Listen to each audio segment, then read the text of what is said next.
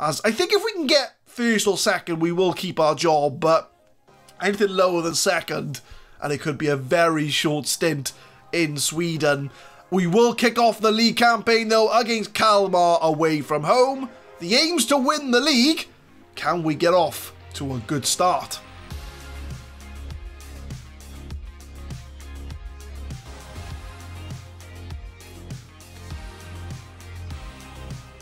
What's going on guys? My name is Adam, I am a Super Swan, and welcome to Club 3 Episode 4 of the FM20 Campus to Champions as we start a brand new league season in the Allsvenskan, which is the Swedish Premier Division. So we are out of the Swedish Cup, as we mentioned in the last episode, so we can now purely focus on our league campaign, which, as you can see from the table, the board expectation is to win the league. And if our cup performances are anything to go by, it's going to be quite a tough season. So the only games you've really missed are friendly games to build up to the league season, which we dominated all three games. So it does fill me with a little bit of confidence, but they are only friendly games. There's nothing really to write home about. But we will be kicking off our league campaign against Kalmar and Örebro in the Allsvenskan. No new transfers to report, really. I think the only ones I need to tell you are the ones that are going out. So we have loaned out our goalkeeper, Eric Holman Johansson, as we do now have Mexado to play in goal. Other than that, nothing really to report. We've done all our transfer business, which you can check out all the players in the last episode. So we can now purely focus on our league campaign. So we will be starting off against Kalmar, and the lineup is going to be as follows. We're going to have Folkson in goal because uh, Mexado, our new first choice goalie, has picked up a virus. So good timing on the virus. So we will be playing our technically third choice goalkeeper in Folkson. That's going to start. And Samuel Brolin, who we've had to pick up from our under 23s or our reserves, he's going to be the backup. So we have our third and fourth choice goalkeepers ready to go. But we've got Nordegren, Soprania, Ben Lamin, and Nathaniel Ario at right back. Karlstrom and Hansen comes back as the ball win midfielder. If you remember him, he broke his leg at the end of last year, so he has now come back to full fitness and he's going to be our ball winning midfielder. So we do have several different options in the midfield.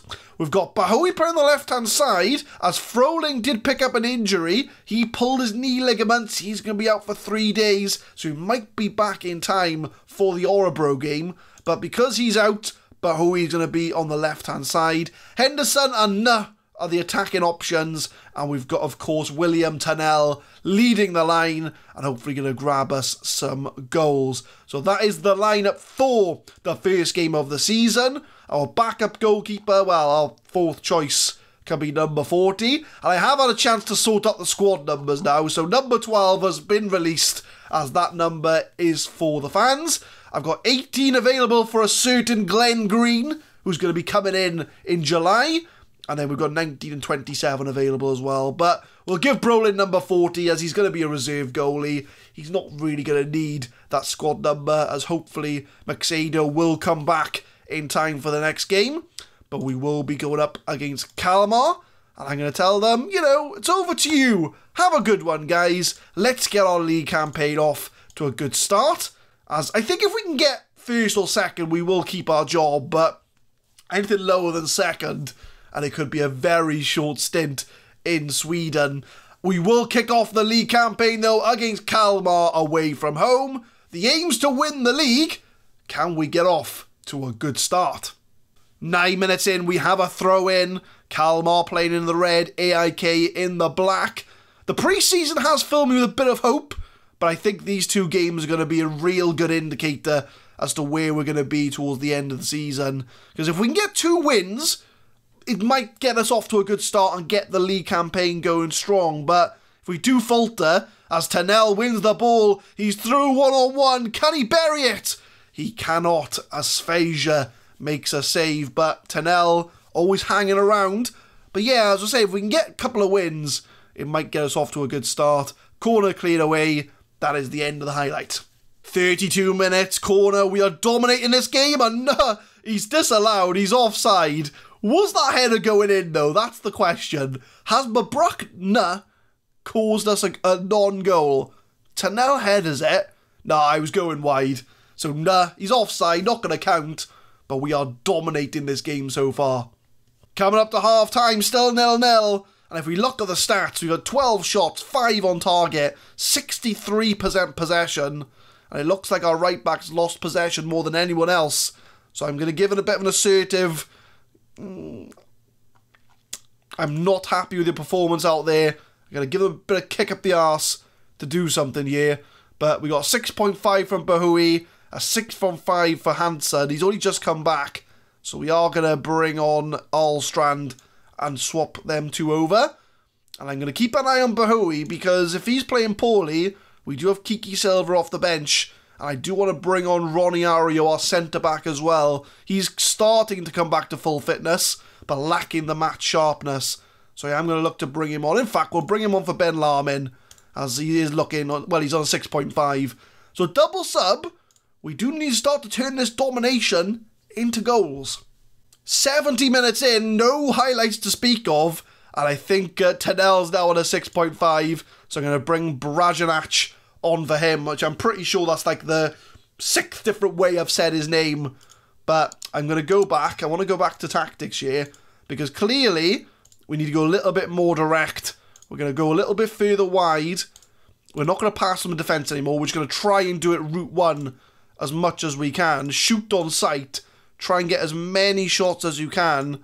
We're going to sort of go more direct as opposed to, you know, being patient and waiting for things to happen. I'm either going to... No, I'm not going to bring the defensive line up. I was going to do that, but I want to try and keep our defensive shape as it is.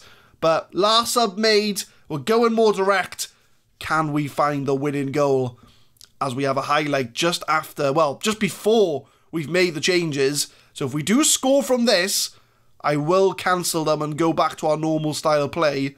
As Karlstrom, outside the area, picks up Ario from right back, crosses it for Bahoui, and Nabil Bahoui has scored the goal. We'll cancel the changes. We were just about to bring him off, I think. No, you stayed on. It was Tanel we're going to bring off.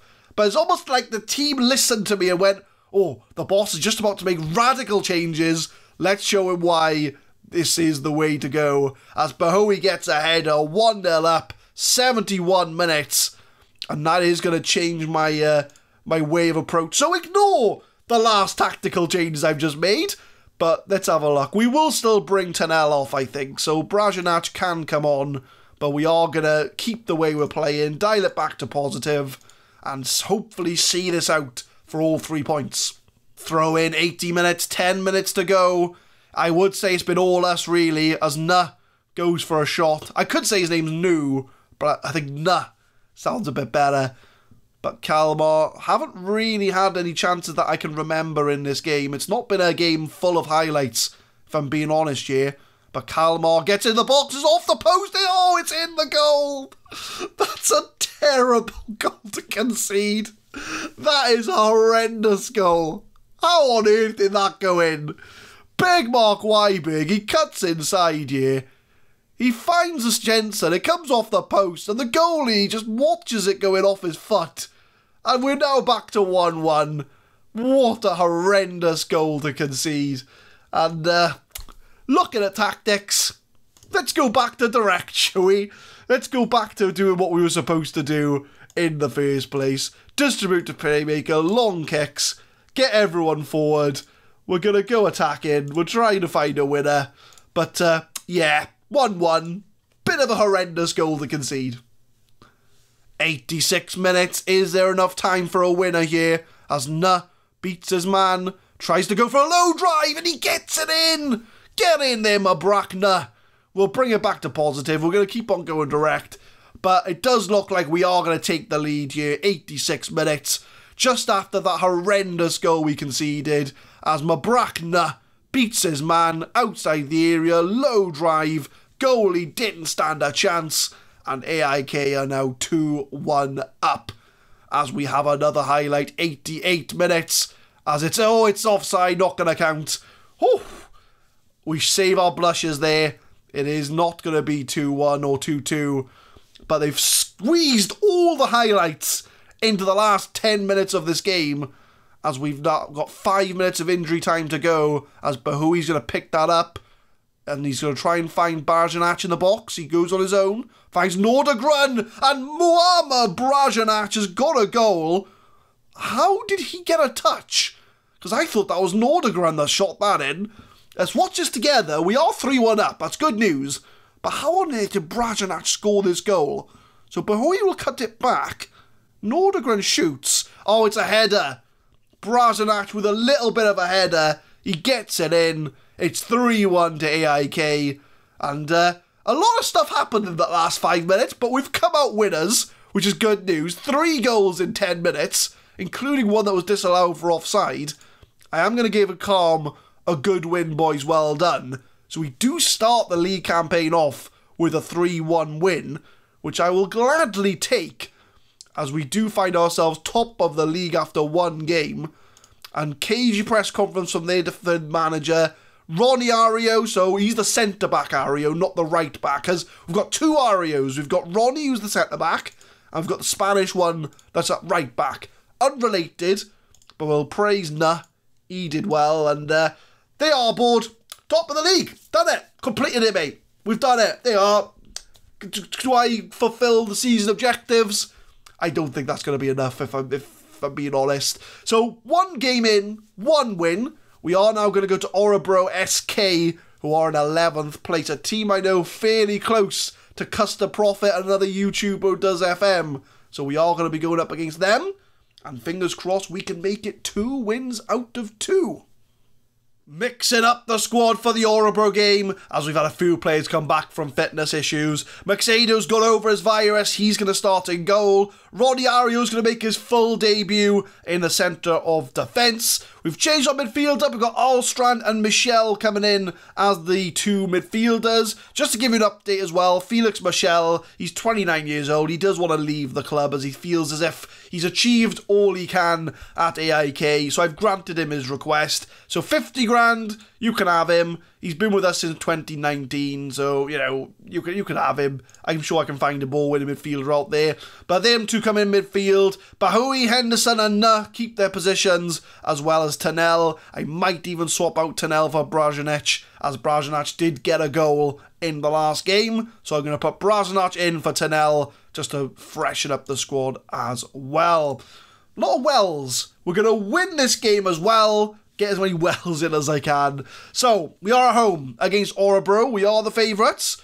I'm going to tell the team, pick up where you left off last time out. I have faith in you to make the difference. So go out there and get a result. We are playing against Orebro. We are at home. Can we get the job done and pick up our second win of the season? As we get a highlight two minutes in, AIK in the black, Orebro in the white as Michel makes a brilliant tackle. That's why he's a ball winning midfielder. He is literally doing his job by winning the ball. Brazanac beats the defender. He's through on goal. It's deflected off the defender, and he almost had the chance to make it 1 0. 38 minutes in, our first decent highlight of this game, and Brazanac has scored from the corner. Well, it's our only second highlight of the game. Not much is going on here at the Friends Arena but we do find ourselves 1 0 up from the corner. Alstrand crosses it in, and Muammar Brazanac with a header. Our last minute decision to make him start has come up trumps as we find ourselves 1 0 up going into the halftime break. A game we are really dominating here. We've had the possession. That's a foul. Is that a penalty? The ref's having a look at it. I think it is, and we have the chance to go 2 0 up here. Who's going to take it though? Number 14, Bahoui steps up, takes the shot, it's in the goal. 2 0 up, two quickfire goals, and Nabil Bahoui gets that goal for us. And I was just saying, you know, we've, it's a game we've been dominating, we've had the shots. Orebro haven't really been in this game, and we have scored two late goals in the first half to really show that dominance. And we are playing very well so far. So I'm just going to say, I'm happy with the way things are going. Keep it up. I don't think I'm going to make any subs as of yet. So we go into the second half, 2 0 up. on the hour mark. Time to make some changes. Mabrakna is on a 6.4, Bahoui's on a 6.5, even though he scored a penalty. So I think it will be Nah that makes way. So if I move Bahoui out to the right, do I have better options on the left? Mm, Kiki Silva? Yeah, we'll bring Kiki Silva on. So they do better the other way round, though. That's the question. So what are they? Two, two and a half? Yeah, two, two and a half, but Bahoui is a natural inside forward. So Kiki can come on on the right hand side. Apart from that, yeah, we're doing alright. So 60 minutes in, still 2 0 up. We do have ourselves a highlight as Nordegren plays it back to Mixade, who's making his debut as well today on camera. Well, I think he is, yeah, because I don't think he played in the Cup. But Henderson, long ball over the top to Brazanac. Brazanac is one on one. It's a save from the goalkeeper, as we almost did make it three. But unlucky, we are making the chances. 73 minutes, just about to make a sub, but we will watch the highlight first. As Bagger for Orebro beats the defence. He's got options, finds Hedman in a load of room, and Ludwig Hedman has pulled the goal back for Orebro. 2 1 the score. He had a lot of room to be fair. I think there were no defenders around him, and he just had the time to pick out the shot. So where's the right back here? That's the question. So there's Ario, there's the right back. Where's the defence? Ario's there. The two Ario brothers not doing very well there. So we do find ourselves 2-1 up now. Orebro have pulled a goal back here. So I think it's time we make a change. Nordegren's on a 6.5. So I think we'll bring on nobody because we don't have a left back on the bench. But who do we have? But who is on 6.4. So unfortunately, he will have to make way. We will move. Mm, we'll move Alstrand out there to the left wing and bring on Karlstrom to be the box to box. I do want to make a sub at the back though, but no one really can play left back. So unfortunately, Nordgren's going to have to stay there. But anybody else underperforming? Henderson 69%. So I think we'll bring on Palmov there. So all of our changes have been in the attacking positions. 15 minutes to go. Can we hang on for the win? Coming up to full time, I think we've done enough to get the three points here today. Not a lot of highlights going on, but I think that flurry at the end of the first half was enough to get us all three points. I'm gonna. It says to say that the team was disappointing, but I'm gonna say those are well done. I want to hype up the players, so I'm gonna say well done. That was a good win. I don't want to slag them off too much this early in the season. So we do make it two wins out of two. We are still top. Karlstrom bruises ankle, but he'll be fine. The standard Liège boss is scouting Felix Michel. But if I do have a look at that league table, two wins out of two. We are starting off our league campaign very well against two sides in Orebro and Kalmar, although they're both not in the top half, but we can only beat the teams that's in front of us. So I think what we will do is we will come back around the end of May, just before the summer break. So we'll come back for Hammarby and Helsingborgs. I think Hammarby are one of our rivals, so it'll be nice to get a game in with them. So we'll have two games before the summer split or the summer break, I should say. But looking at it, so that'll give us a good, what? What's that? Four, eight games to really see if we are title challengers or if we are going to fall off by the wayside. But so far, so good. Two wins out of two, six points on the table. The board want us to win the league, and we've done so far, so good with two wins out of two. But leave a like if you enjoy, guys. Subscribe to the channel for more Football Manager 2020 content. We will be uploading Campus to Champions every Monday, Wednesday, and Friday, 6 pm GMT. And tune in next time as we will be going up against the two teams I've told you about, which are Hammarby and who was the other one? Helsingborgs. See, I, I remembered. I just, you know, looked at the table and picked them out. But we'll play those two games can we keep up the title challenge? Thank you very much for watching.